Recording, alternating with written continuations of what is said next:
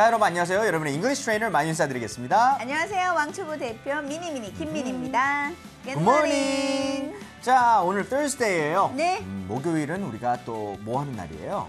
맛있는 식당 아. 영어 배우는 날이죠. That's right. 네. 벌써 배고픈데. 음. 자, 오늘은요. 네. 어, 오늘은 선생님께 뭔가 식사 대접을 하고 싶은 마음. 그런 마음을 뭔가 전달하는 그런 내용 되겠습니다. 아, 전달하면서 선생님 음. 식사 같이 한번 하... 어, 이런 거 정말 알아놔야 그렇죠. 돼요. 네. 뭐 상대방이 어떤 대답이 되든 간에 자기가 이렇게 제안할 수 있는 거니까. 그렇죠. 그렇죠. 이런 내용을 한번 살펴볼 텐데 네. 일단 자세한 거는 미션 공개로 알아보도록 할게요. 그럴까요? 미션 공개. 공개. 오늘의 미션. 미션 1.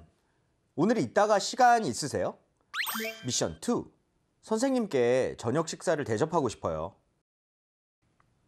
아, 요런 내용입니다. 아, 음. 저는 아직도 피터팬 증후군이 있는지 선생님을 보면 떨어요. 근데 과연 음. 한국말로도 떠는데 이걸 할수 음. 있을까요, 영어로? 어, 저는 네. 그 순간 피터팬 증후군이 있다 그래서 음. 피터, 야. 어, 피터에 관련된 아, 뭐 이게 피터. 겁을 겁을 낸다는 줄 알고 아니요. 선생님만 보면 떨어는데 아, 아직요. 그걸 또 영어로 해야 되니까. 그러니까요. 조금 오늘 긴장해야 되는 그런 시츄에이션인데. 그래도 시도는 해봐야죠. 아 그럼요. 네. 무조건 해봐야 되니까 뭐 그래서- 틀리면 틀리면 어때요? 네. 어, 틀리면 틀려도 틀려 도 고고. 고고.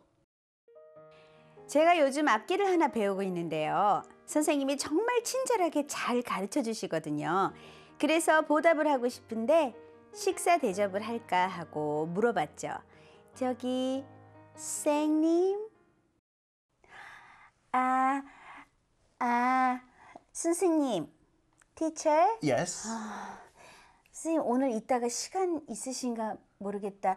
in English, Minnie. Come on. 그렇죠. 저도 지금 하려고 그러거든요. 아. 그러니까 do you have a time?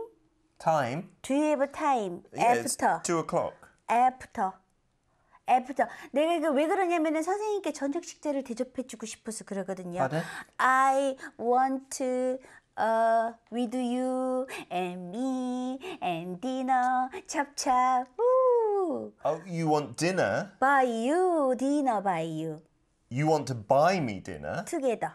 Really? Yes. Listen, you already wrote me the letter. I'm very touched already. 네. Yeah, so it's okay. 네. Just the letter is enough. 네. Okay? 네.